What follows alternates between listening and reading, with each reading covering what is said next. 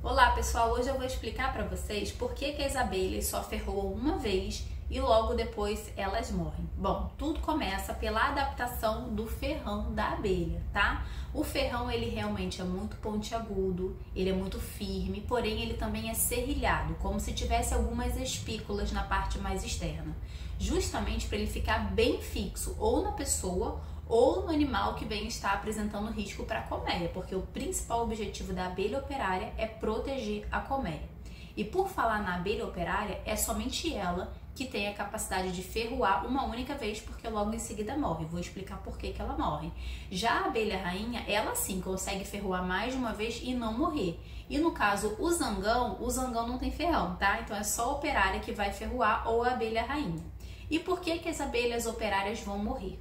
O ferrão, pessoal, ele fica tão fixo, mas tão fixo no alvo, no caso no animalzinho ou na pessoa, que quando a abelha precisa voar, o ferrão se desprende dela. Sim, gente, a abelha vai embora e fica ali parte do sistema digestivo da abelha, dos músculos da abelha, dos nervos, das glândulas. Então aquela abelha vai morrer logo em seguida. Ela morre logo, assim, segundos, né? Às vezes até alguns minutos, mas logo em seguida ela vai morrer porque realmente esse desprender do ferrão dela é fatal.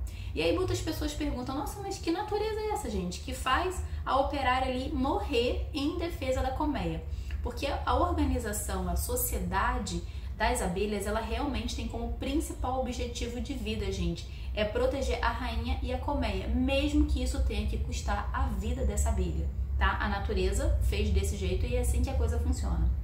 E outra coisa, quando o ferrão também se desprende, ele libera, além de toxinas ali, especialmente é, os peptídeos que vão gerar muita dor, tá? Muita dor mesmo na, no local da picada, processos inflamatórios e às vezes até mesmo reações adversas que podem levar o choque séptico de uma pessoa ou de um animalzinho.